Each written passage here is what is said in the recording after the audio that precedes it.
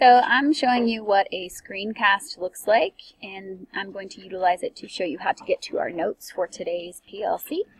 On your desktop, if you go to where your folders are located down here and select that, you're going to then choose the shares folder which is located under computer. Select the folder that then says Gambill and right here are the notes on video in the classroom here is the video that we just watched, and here is where the video of the screencast will be.